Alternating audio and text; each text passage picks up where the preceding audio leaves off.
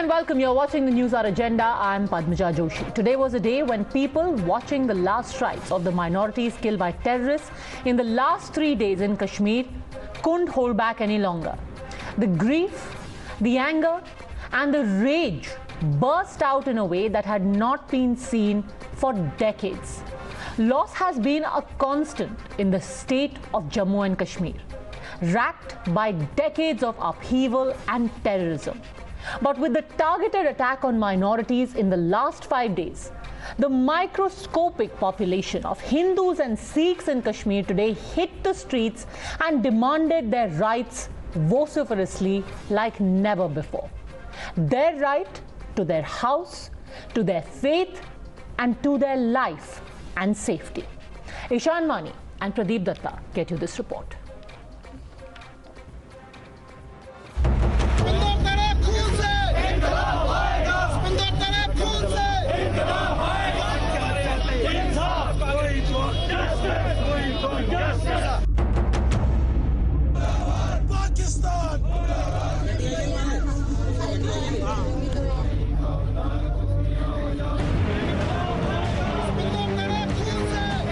seen that in Kashmir, something had snapped.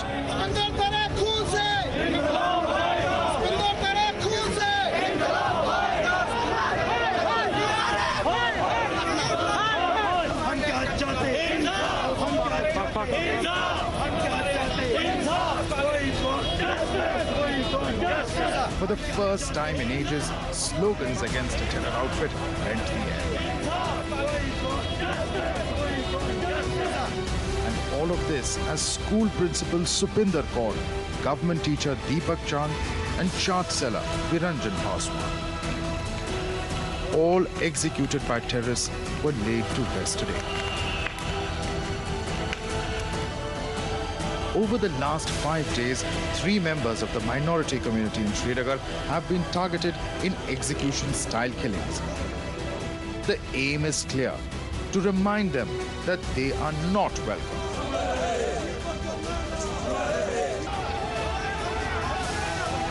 That's why the anger is directed not just at the terrorists and their trainers in Pakistan, but also at those in India who have tacitly encouraged this kind of ethnic cleansing against those who are quiet on the violation of minority rights today. Minorities Jammu Kashmir में किसी से डरने वाले नहीं है। अरे मैं तो जम्मू कश्मीर में बैठे उस गुपकार ग्रुप से ये कहना चाहती हूँ, आज वो कहाँ पर है? और राहुल गांधी से मैं ये प्रश्न पूछती हूँ कि जब इलेक्शन का टाइम आता है, तब अपने आप को वो हिंदू कहलाता है। जब कश्मीर में आता है, तब अपने आप को कश्मीरी पंडित कहलाता है। आज वो कहाँ है? आज कश्मीरी पंडितों के घर में क्यों नहीं आया? आज सिखों के घर में क्यों नहीं आया किलिंग के बाद क्यों सोशल सोसाइटी सोई हुई है? क्यों के वहाँ के लीडर घर घुसे हुए हैं। क्यों नहीं वहाँ सोशल ऑर्गेनाइजेशन उनके लिए सड़क पे बैठ रही हैं? क्या कारण है कि वहाँ पे हिंदू और हिंदुस्तानियों की किलिंग के ऊपर वहाँ के नेता शांत बैठे हैं? इनको शर्म आनी चाहिए।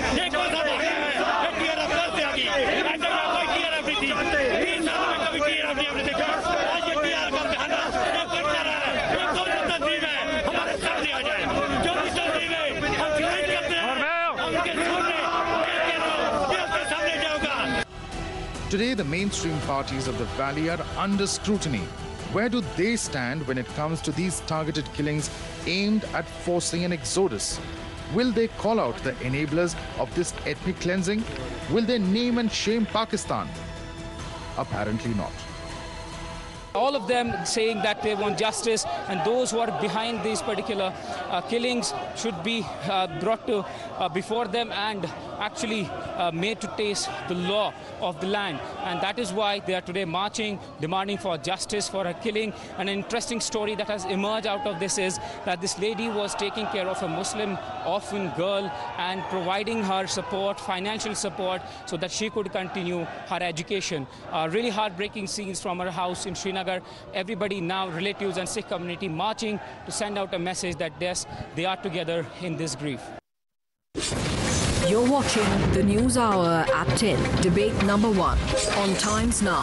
Super Prime Time.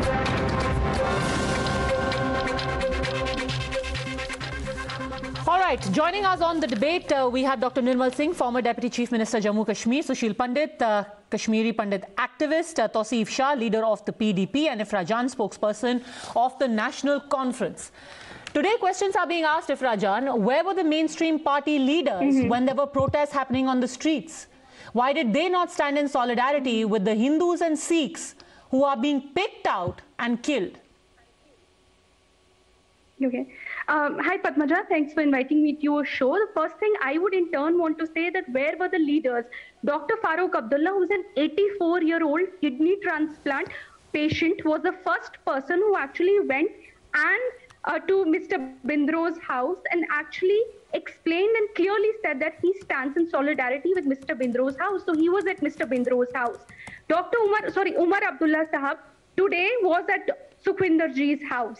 Senior leaders of the National Conference, including Nasir Sogami and others, Vice President Shammi Oberoi, everybody today were also at the Kashmiri Pandit woman's house. So the question is, while all the opposition leaders are, even though they, they've not, they're not in the government, they're not accountable to the people. Sure, they have moral accountability, but they're not legally accountable.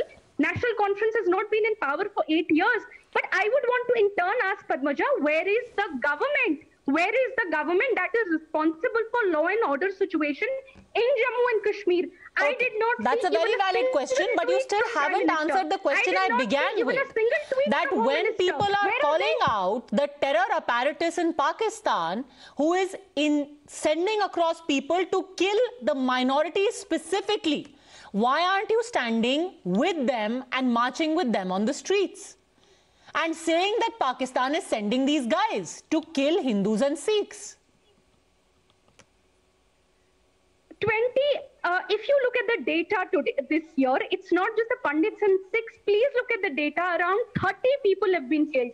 Out of those 30 people 24 happen to be muslims. So obviously in last 5 days there is clearly a religious angle to the killing. No denying that. Absolutely no denying that. But this entire year 24 innocent muslims have also been shot dead so the question here is everybody in Jammu and Kashmir at this point, thanks to the law and order situation. So you that do the not think, madam, you do not think at all, scared. you do not think that these are targeted killings of minorities. It just so happens that people who were killed, no, no, no. who I- were lined up and told to produce their identity cards were separated from their Muslim colleagues and then shot. clearly That is just accidental. These are not targeted killings according no, to no, you. no, no. I have clearly said the killings that happened in last five days. Even Omar Abdullah Sahab in his tweet said that these happened to be clearly targeted killings. I I just By- said this on your television. By I am who? saying this year, By who? 24 By who? By who? These Targeted targeted killings killings by- are by who? tar- by terrorists. Any this is an act of terror. The question is, instead of asking Where Ifra did Jan, these terrorists come from? this, instead of asking Ifra Jan, Where did these terrorists every come Tom, from? Dick and Harry, when are we going to ask the government? We will ask I mean, right now. for In the next three minutes, we will ask the need to stand government. up and tell But can you please tell me where these the terrorists came government, from? Padmaja, is in Where power did these terrorists come years. from, ma'am? The BJP government Where did these terrorists come from? last eight years. Where did these terrorists come from and why The are they doing these targeted killings? Here is in power for last eight years. My Ma'am, why are question these is, targeted killings happening? Against Hindus and? Sikhs? Why are these targeted killings happening against Hindus and Sikhs? To human rights lobby. Am I the one responsible for law and order? Ma'am, I am not talking about any for law and lobby. order? I'm asking is you. human rights lobby responsible I don't care for the lobby. Why are you getting in lobby? I'm not asking about any lobby. I'm asking because about you, you. need to because for once in our lives we need to now stand start asking questions to the government and Ma'am, I know what to do. again and again Can you please again. answer my question? right now Instead of giving me a questionnaire, Right can you now, answer my question? 55 Where where did these terrorists Right come now- from? You've come to the point of saying these are terrorists. Where have these terrorists come from? Mm-hmm. And why are they killing Mm-hmm. That Hindus is and something Sikhs? the police will tell us. That is clearly Why something the they police will Hindus tell and us. The police yet hasn't come out and said where exactly they're coming from, where they're receiving Why their are they training, killing whether Hindus they've come and from Sikhs? Pakistan, Afghanistan, Why are they killing Hindus and Sikhs? from. Why are they killing Hindus and Sikhs? They are killing every. Arey, aaj 55 sarpanches have resigned. 55 sarpanches have resigned. Are they Hindus? Sikhs? No. They're Muslims, Hindus, Sikhs. Everybody is scared in Jammu and Kashmir. Okay. That is the law and order situation. 24 Muslims died this year, were killed similarly. Why were those 24 people killed? The question here clearly is that the law and order situation is completely Okay. broken down. Okay, Dr. Nirmal Singh. Dr. Nirmal Singh, everyone is unsafe, everyone is scared, and everyone needs security. Like the IG said yesterday, 24 Muslims have also died. Dr. Nirmal Singh. That's there. That's there. We fully, fully agree with this. But this madam who represents NC, she is only studying crocodile here. As uh, Omar Abdullah and Farooq Abdullah, they are doing it. They are not coming forward to condemn Pakistan. And we know their are limitations because when Dr. Farooq Abdullah glorifies Talibani government in Afghanistan, where uh, these women are being killed, where uh, these uh, minorities have been uh, killed. So how they can come on the street to protest the, against uh, this ethnic cleansing which is going on in the valley? Because they are indirectly they are voting the same agenda. When uh, Omar Abdullah or Mehbooba Mufti says that in Kashmir, the Muslims are not allowed to practice this fast. This is the same agenda that they are voting in. And this is the unfortunate of the case in Kashmir. When the leaders to the chief ministers of the state, whoever this are running this act, 70 years, they are not forward. Ifrajan, the fact is that there have been attempts and regular attempts made by the PDP and NC over the last several years, especially over the last two years, to say, do not try to change the demography of Kashmir. You, in fact, even tweeted soon after these murders that look what happens when you try to artificially change the demography of Kashmir. Almost trying to say, look at these people, they're trying to come and settle in Kashmir. This is what will happen. This is unfortunate. Excuse me, unfortunate. Padmaja. Number one, I issued a proper statement after that tweet and said that that tweet was in a response to somebody, P. Rath, a Twitter user, who was saying, Where does the alarm bell come from? Eh, The Kashmiri Pandit who has come here is not an outsider. Kashmiri Pandits happen to be our brothers and sisters, and they have their rights on this land before all of us do. That's what we believe. That's what I, as a Kashmiri Muslim, believe. So please read the statement that I've issued. Number two, I'm repeatedly saying that National Conference government has not been in power for last eight years now. You can keep deflecting the issue. You can keep asking every Tom, Dick and Harry, militant क्यों बोला, terrorist क्यों नहीं बोला, पाकिस्तान क्यों नहीं बोला, इस statement में सिर्फ ये क्यों बोला, ये statement पांच पेज की क्यों नहीं आई? The thing No, is, nobody Umar is asking Abdullah silly Sahab has questions like that. clearly What one and is asking very categorically clearly is in that his why statement- is it that Mehbooba Mufti has to say things like, uh, for the BJP, JNK is not a political but a religious problems and they're trying to change the religious composition by ensuring Muslims become a minority in a Muslim majority state. So the issue of demography has been brought up again and again. You might talk about inclusivity, ma'am, but the whole issue of how don't change the demography, you cannot artificially alter the demography, the, the nature of Kashmir is of a Muslim majority state, that has been reiterated and underlined ad nauseum. And which is why one asks those questions. You will have to ask questions of what Mehbooba Mufti ji has said. You will have to ask those questions to the PDP spokesperson. I am the National Conference spokesperson. If you look at Omar Abdullah Sahab's tweet today, in fact, it was a series of tweets, a statement. Hmm. Omar Abdullah Sahab has clearly said that the onus to stop this is on the majority community. The onus to make sure that every Hindu minority, every Sikh minority in Jammu and Kashmir at this point feels safe is on the Muslim majority, even though most most people who've been targeted this year happen to be Muslims. But for once, we need to keep our dead bodies aside and make sure that I'm Sushil Pandit, he did say that. Omar Abdullah, in fact, said that in the rest of the country, the majority protects the minority. It's our job here as majority to keep our Hindu brothers safe. He's visited everyone. So this is not about communities or majority or minority. It is about a law and order, a security problem. Sushil Pandit. Padmaja, no matter what he says, the issue is what he does and what they have been. You can keep in that they must say, they say that they must such statement, and tomorrow to they will say or say and issue those. He will even go and other as he has done for issuing some not because them because it is not political admit to that they are clever people they will speak what you want to hear. Even sing ram Dhun, say bharat mata ki jai. He will sing vande mataram he will do a Shirshasana if you want him to do. The problem is what he does. He plays footsie with jihad.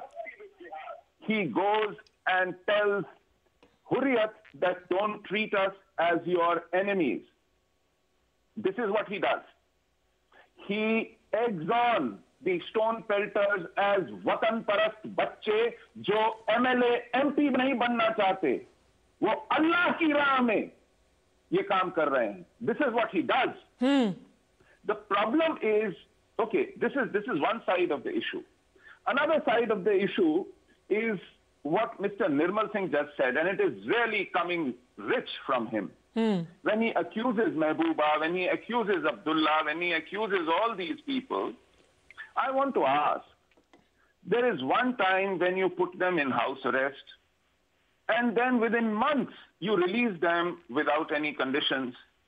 You don't ever put a charge sheet against them and prosecute them for all their sins that you accuse them of from the floor of parliament. Hmm. And then the prime minister invites them over chai and pakora to hear from them as to how to rekindle democracy in the state.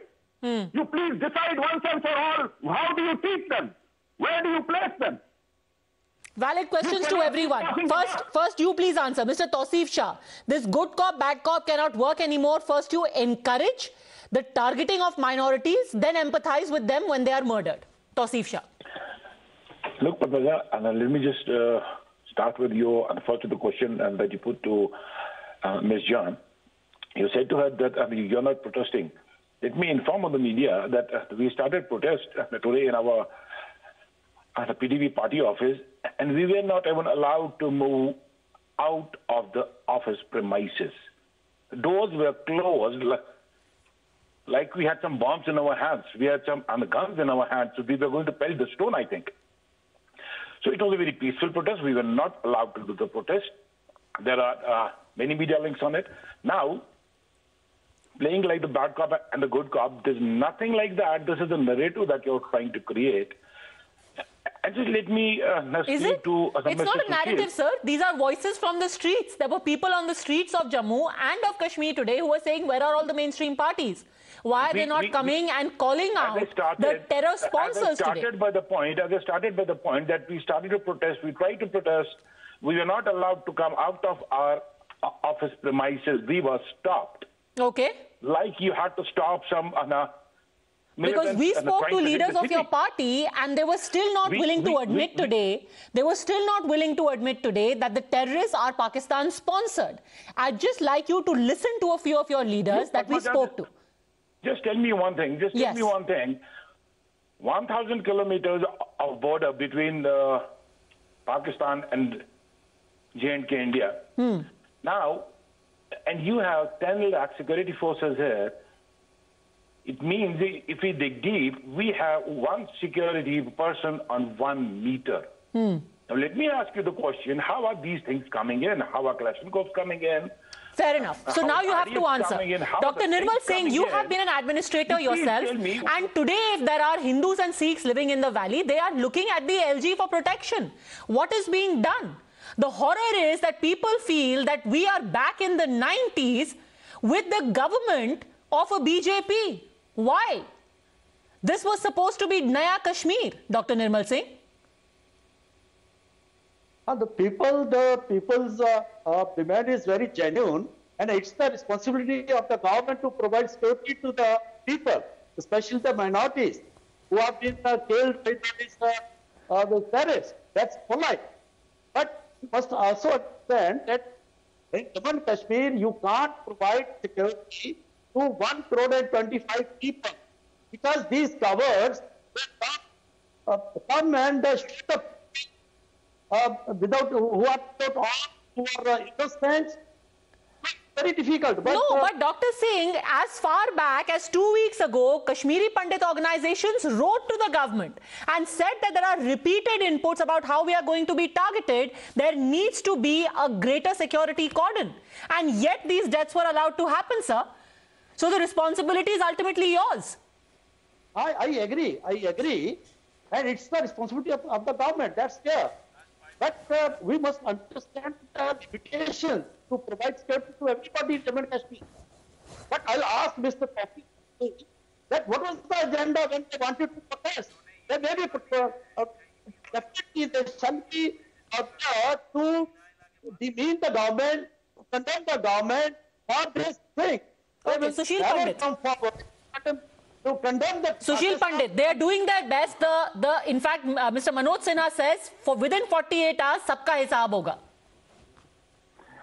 Listen, I mean, this sloganeering and this rhetoric is not the solution and cannot be a hisab. The problem here is when you ask for security, Mr. Nirmal Singh says one crore people cannot be offered personal security. Sorry. This security doesn't mean the kind of security you netas are provided with a posse of policemen. This is mindless understanding of this question. The question is, will you go after the potential killers or will you wait for them to strike somewhere first? Please, for God's sake, understand what means providing security. It doesn't mean attaching 10 policemen to a person. It means strengthening your intelligence grid. It means going after them pro- proactively. It doesn't mean waiting for them to strike first and then hunting them down. Dr. Nirmal Do you understand? Dr. Nirmal Singh, answer the people who are watching you right now because these are people who repose their trust in you, your government. That's there. That's there. But we are in a proxy war. A country is behind this forest. And the local leaders, the the so-called mainstream leaders, they are just uh, inciting this uh, uh, by giving different slogans. Okay, proxy war, proxy war, Tausif Shah. Tausif Shah, where do you stand in this proxy war? Sir, this is not the proxy war. You please realize that you have a security lapse. Your intelligence grid is, uh, we can say that it's, uh, it's just gone defunct. Just gone defunct. Your, your police force, which is directly being handled by the central government, they're acting like exactly the filmy police.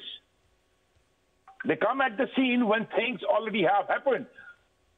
What are intelligence agencies doing, sir? They have such a lot of budget. They have so many. Uh, they have so many informers. They have budgets. Then what are they doing? Dr. Singh. I'll ask him that what their leaders are doing. They are taking criminal greatness here. Why giving slogans for demographic change all that. Indirectly, they are working for the agenda of Pakistan. This is the tragedy of Kashmir. That's the reason. For government is concerned, government will definitely took those people to task and brought to justice. I, I, uh, I, I fully agree with it. Okay, I'll give the final word to you, Sushil Pandit. What do you want from here on? Already, operations have been launched. 300 alleged overground workers have been rounded up today. The LG says we are going to carry out operations also against all sympathizers and terrorists. But what is to ensure the security and life and limb at a time? When we are being told that our Pandit brothers should come back to the valley, we will give you your house and your land. Sushil Pandit. Thank you, Padmaja. The problem is that over the last 70 years, under Article 370 and 35A, the state has engendered jihad within its own rank and file, within the bureaucracy, within the academia, within the police force, within the lower judiciary, within every arm and organ of the government. Today, there are people who guide these killers to identify their potential targets. They are harbored. They are allowed a getaway. They are being protected. There is an elaborate system. What you've done in the last two years after neutering of 370 is symbolically purged less than 10 people from the system. What are you doing on ground? What are you doing proactively? You know, among the lawyers, among the faculty, among the media, within the civil society, within the chambers of commerce, hmm. within the bureaucracy, you have infestation.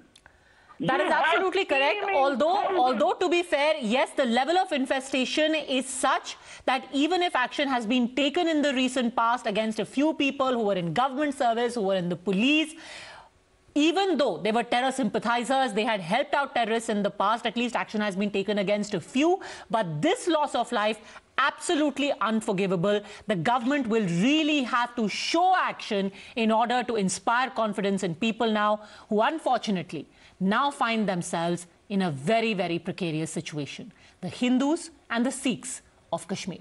Thank you very much, all gentlemen, for having joined me.